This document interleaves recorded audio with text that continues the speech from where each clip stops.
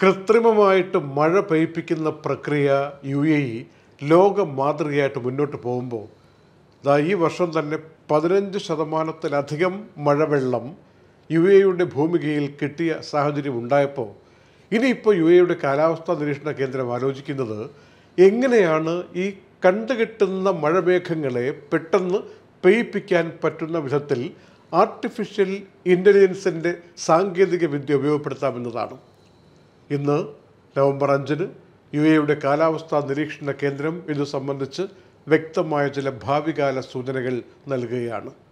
ഒന്ന് artificial intelligence എന്ന വിദ്യ എങ്ങനെ മഴവെള്ളം കൂടുതൽ കിട്ടാൻ വേണ്ടി ഏതൊക്കെ സമയത്ത് ഈ ഫ്ലൈറ്റുകൾ അങ്ങോട്ട് മുകളിലോട്ട് പോയി ഫ്ലൈയിങ് നടത്തിയിട്ട് ഈ കെമിക്കൽ വിതരണം ചെയ്തിട്ട് എങ്ങനെ മഴവെള്ളമാക്കി മാറ്റാൻ പറ്റും? അത് റിസർച്ച് ചെയ്യുക. രണ്ടാമത്തെ കാര്യം പൈലറ്റ് ഇല്ലാതെ എങ്ങനെ ഭാവിയിൽ ഈ ആർട്ടിഫിഷ്യൽ ക്ലൗഡ് സീഡിംഗ് നടത്തിക്കാൻ പറ്റും? ഇപ്പോൾ നിലവിൽ പൈലറ്റ് തന്നെയാണ് വിമാനം പറത്തിക്കൊണ്ട് പോയിട്ട് ഉപ്പ് പരലുകൾ ഇങ്ങനെ ആകാശത്ത് വിതറുന്നത്. അതാണ് മഴയായിട്ട് മാറുന്നത്. എന്നാൽ പൈലറ്റ് ഇല്ലാത്തൊരു സാഹചര്യം നിലവിൽ ആലോചിക്കാൻ പറ്റില്ലെങ്കിലും ഭാവിയിൽ ഇതാവശ്യമാണെന്ന് കണ്ടുകൊണ്ട് അതിലേക്ക് വേണ്ടിയുള്ള റിസർച്ച് നടപടികൾക്ക് തുടക്കമായി എന്ന രൂപത്തിലും കാലാവസ്ഥാ കേന്ദ്രമായ എൻ പറയുകയാണ്. ലോകത്തിനിപ്പോൾ മാതൃകയാണ്. ഇതിന്റെ കൂട്ടത്തിൽ പല ആളുകളും ചോദിക്കുന്നൊരു ചോദ്യമുണ്ട്. ഒരു ഫ്ലൈറ്റ് ഒരു മണിക്കൂർ ഇങ്ങനെ പറത്തിയിട്ട് മഴവെള്ളം പെയ്യിപ്പിക്കാൻ വേണ്ടി എന്തുമാത്രം ചെലവ് വരും? ഊഹിക്കാൻ പറ്റുമോ എത്രത്തോളമാണ് നമ്മുടെ കയ്യിൽ നിൽക്കുന്നതാണോ? ഏകദേശം മുപ്പതിനായിരം ദർഹത്തിന് താഴെയാണ് ഒരു മണിക്കൂറിന്റെ ഈ ക്ലൗഡ് സീഡിങ്ങിന് വേണ്ടിയുള്ള ഫ്ലൈയിങ് ചെലവ് എന്ന് പറയുന്നത്. എല്ലാം കൂടി ചേർത്തിട്ട്. എന്ന് വെച്ചാൽ ഒരു എണ്ണായിരം ഡോളറിന് ചുറ്റിപ്പറ്റി നിൽക്കാവുന്ന സാഹചര്യമാണ് എന്നാണ് കണക്കുകൾ പറയുന്നത്.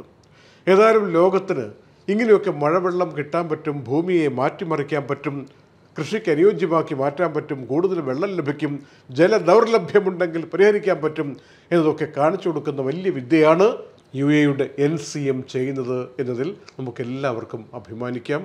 ലോകമിപ്പോൾ കണ്ടുപഠിക്കുകയാണ്.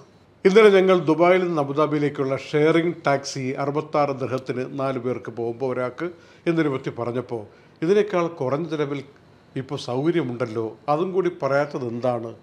ആളുകൾക്ക് ഒരു കാര്യം മാത്രം പറഞ്ഞു കൊടുത്തത് എന്താണെന്ന് ചോദിച്ചുകൊണ്ട് പലരും കമന്റ് ഇട്ടിരുന്നു. കമന്റ് ബോക്സ് നോക്കിയാൽ അറിയാം ഇതിനേക്കാൾ കുറഞ്ഞ കാശ് നമ്മൾ പോകുന്നുണ്ടല്ലോ. ശരിക്ക് ഇത് പറഞ്ഞിരിക്കുന്നത് നാല് പേർക്ക് സഞ്ചരിക്കാൻ പറ്റിയ ടാക്സിയെക്കുറിച്ചാണ്. ആർ ടി എ ഇൻട്രൊഡ്യൂസ് ചെയ്തിരിക്കുന്ന ആറുമാസത്തെ പരീക്ഷണം.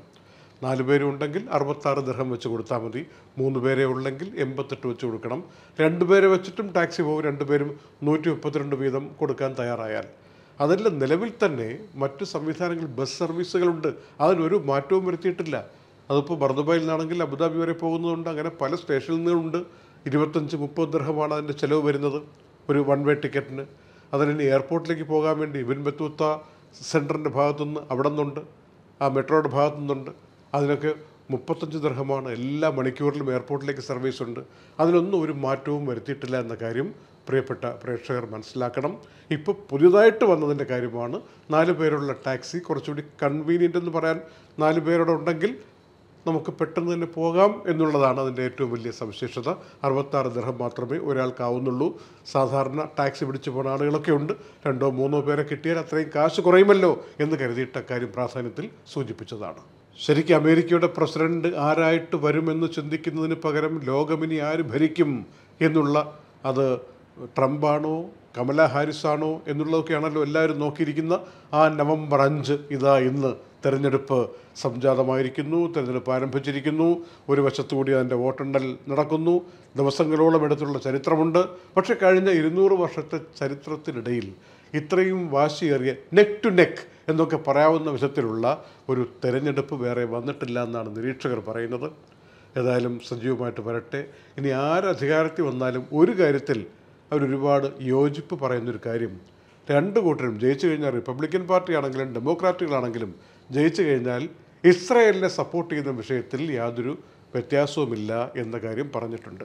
മറ്റു പല ആശയങ്ങൾ ടാക്സ് കട്ടിന്റെ കാര്യത്തിലാണെങ്കിലും ഇനി വനിതകളുമായി ബന്ധപ്പെട്ട മറ്റ് സുപ്രധാന വിഷയങ്ങളുടെ കാര്യത്തിലാണെങ്കിലും ഗർഭഛിദ്രത്തിന്റെ കാര്യത്തിലാണെങ്കിലും സ്വാതന്ത്ര്യത്തിന്റെ വിഷയത്തിലാണെങ്കിലും പഴയ അമേരിക്കയുടെ വീര്യം വീണ്ടെടുക്കാൻ വേണ്ടിയുള്ള പ്രയത്നത്തിന്റെ വിഷയത്തിലാണെങ്കിലും അഭിപ്രായ വ്യത്യാസങ്ങൾ ഒരുപാടുണ്ടെങ്കിലും ഇസ്രയേലിനെ സപ്പോർട്ട് ചെയ്യുന്ന കാര്യത്തിൽ രണ്ട് നേതാക്കൾക്കും ഒരു വ്യത്യാസവുമില്ല എന്ന് പ്രചാരണ പരിപാടികളിലൊക്കെ വ്യക്തമാക്കിയിട്ടുണ്ട്. രണ്ടായിരത്തി മുപ്പത്തി ഒളിമ്പിക്സ് നടത്താനുള്ള അവകാശം ഇന്ത്യയ്ക്ക് കിട്ടുമോ? എല്ലാവരും നോക്കിയിരിക്കുന്ന കാത്തിരിക്കുന്ന ഒരു ചോദ്യവും അതിന്റെ മറുപടിയും വരാൻ സമയമായിരിക്കുന്നു. ഔപചാരികമായിട്ട് അതിനുവേണ്ടിയുള്ള ബിഡിംഗ് ഇന്ത്യ നൽകിയിരിക്കുന്നു എന്ന വാർത്തയാണ് ഇന്ന് ആശ്വാസകരമായി പുറത്തു വന്നിരിക്കുന്നത്. ഇന്റർനാഷണൽ ഒളിമ്പിക് കമ്മിറ്റിക്ക് മുമ്പാകെ ഇന്ത്യ അതിന്റെ എല്ലാ യശസ്സും ഉയർത്തി കാണിച്ചുകൊണ്ടും സൗകര്യങ്ങളൊക്കെ കാണിച്ചുകൊണ്ടും പേപ്പർ കൊടുത്തിരിക്കുകയാണ്. രണ്ടായിരത്തി മുപ്പത്തി ഒളിമ്പിക്സ് ഞങ്ങൾക്ക് നൽകണമെന്ന്. ഇത് ഏതാനും ആഴ്ചകൾക്ക് മുമ്പ് അമേരിക്കയിൽ വെച്ച് തന്നെ നമ്മുടെ പ്രധാനമന്ത്രി വളരെ സജീവമായിട്ട് വ്യക്തമാക്കിയൊരു വിഷയമാണ്. രണ്ടായിരത്തി പത്താറിലെ ഒളിമ്പിക്സിന് വേണ്ടി ഇന്ത്യ ആഗ്രഹിക്കുന്നു നടത്താൻ വേണ്ടി ശ്രമിക്കുന്നു എന്നുള്ള കാര്യം ഏതായാലും യാഥാർത്ഥ്യമായിട്ട് വരട്ടെ. എല്ലാവിധ ആശംസകളും ആ ഒരു കാര്യം കിട്ടുകയാണെങ്കിൽ നമ്മുടെ സ്പോർട്സ് യുവതലമുറയുടെ സ്പോർട്സ് വീര്യം ഒന്നുകൂടി ഉണരുമെന്ന കാര്യത്തിൽ യാതൊരു സംശയവും വേണ്ട. ദുബായ് വാർത്തയുടെ നവംബർ അഞ്ചിന്റെ നൈറ്റ് അപ്ഡേറ്റ് സമാപിക്കുന്നു. നന്ദി.